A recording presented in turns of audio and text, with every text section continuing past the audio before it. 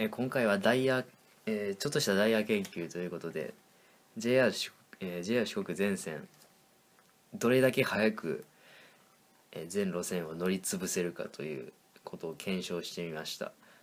実際にこれが一番早いという確証はないんですけどもとりあえずご紹介しますので、えーよろしくお願いします。え今回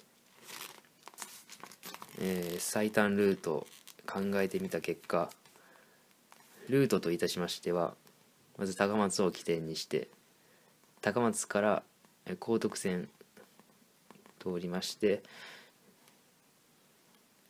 えー板の、えー池の谷失礼しました、えっと、池の谷から鳴門線ここを往復乗車します。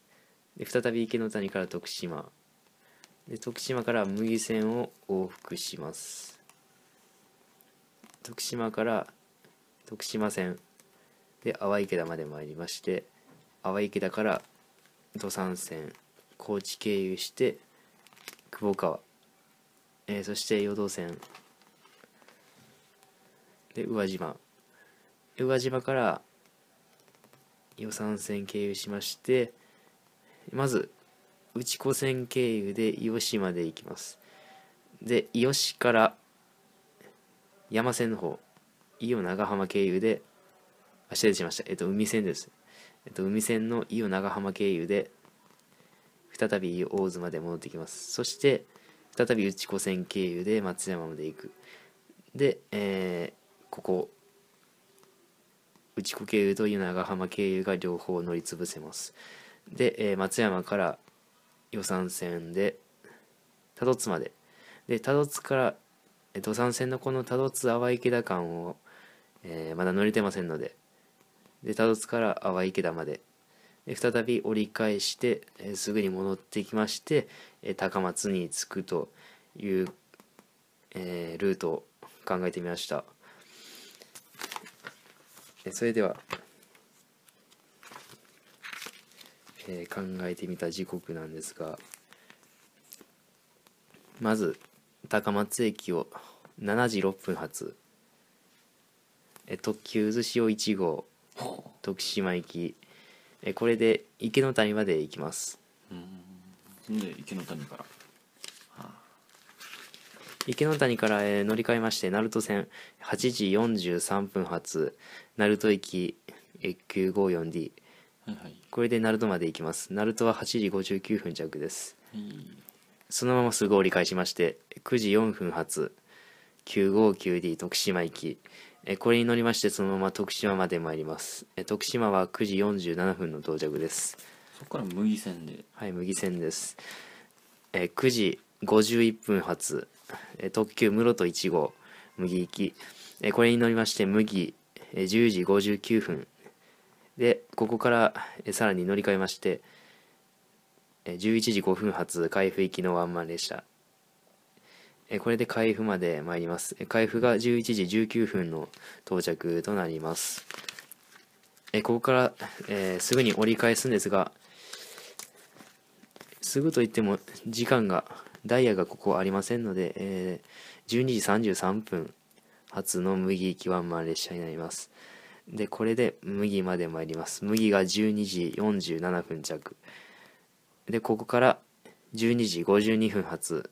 特急室戸4号えーこちらで徳島まで乗車します。徳島が14時1分の到着です。えー徳島から徳島線の方にえー乗り換えまして、えー徳島15時ちょうど発特急剣山7号。これに乗りまして淡池田16時16分。えー淡池田から土山線に乗り換えまして16時30分発南風15号です。でこれで高知まで行きます。17時41分も到着です。高知から、えー乗り換えまして18時、えー55分発足筋7号。えこれで久保川まで参ります。久保川が20時8分の到着です、えここから久保川から和海間えー一駅が土佐黒小鉄道線となりますが、えー今回はそこは、えーまあ、考えずに一駅だけ乗車したいと思います、え久保川から20時19分発の淀線宇和島行きのワンマン列車です。これで宇和島まで行きます。宇和島が22時23分の到着です。1日目は宇和島で終了となります。え次のえ日になりまして宇和島が5時33分発。宇和海2号、えこちらで伊予市まで参ります。伊予市が6時46分。で伊予市からこの伊予長浜経由の普通列車ですね。えっ、と7時20分発。八幡浜行きワンマン列車で伊予大津まで参ります。伊予大津が8時50分の到着です。で伊予大津から乗り換えまして再び9時30分発。特急和海6号松山行き。で松山が10時7分。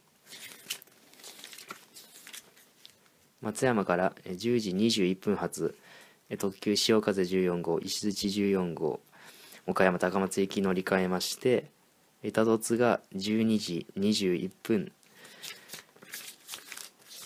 え多度津から淡池田まで、え行きます。